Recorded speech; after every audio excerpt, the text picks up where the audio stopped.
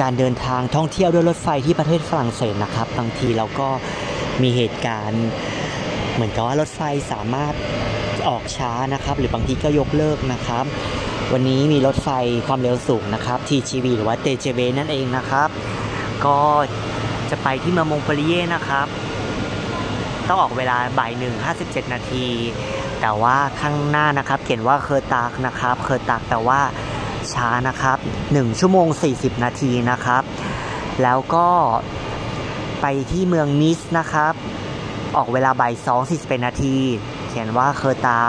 ก็คือเลทนะครับ 1 ชั่วโมง 20 นาทีนะครับ ก็